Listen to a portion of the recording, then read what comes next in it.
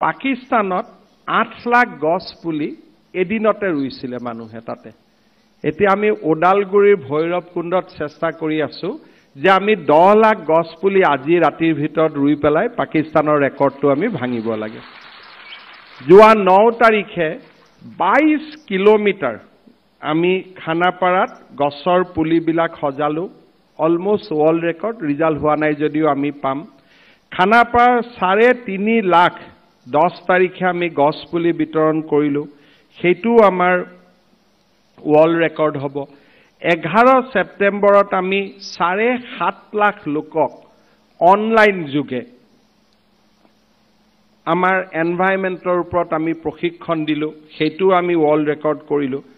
আৰু পোন্ধৰ তাৰিখে নাহৰকটীয়াত আমি এক ঘণ্টাৰ ভিতৰত চাৰে তিনি লাখ গছ পুলি ৰুম।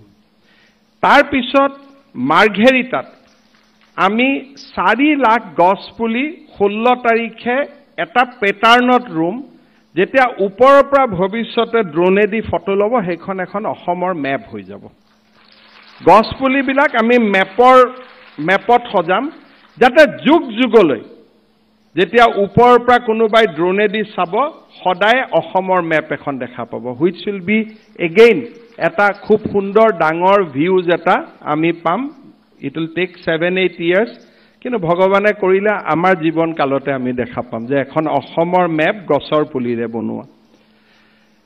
তাৰপিছত সোতৰ তাৰিখে আমি শিৱসাগৰ জিলাৰ গেলেকীত আৰু এটা ৱৰ্ল্ড ৰেকৰ্ড কৰিম য'ত পঞ্চাছ হাজাৰ ল'ৰা ছোৱালীয়ে একেলগে গছ পুলি ৰ'ব।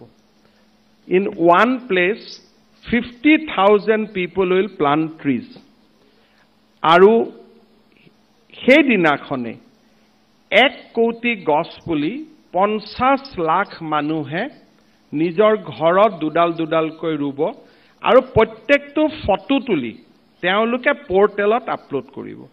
আৰু পৰ্টেলত যদি এক কোটিৰ সংখ্যাটো আমি পাওঁ then that will be the biggest online photo album of the tree plantation আৰু অলৰেডি ফিফটি লেক্সৰ ওচৰৰ মানুহে তাত ৰেজিষ্ট্ৰেশ্যন কৰিছে।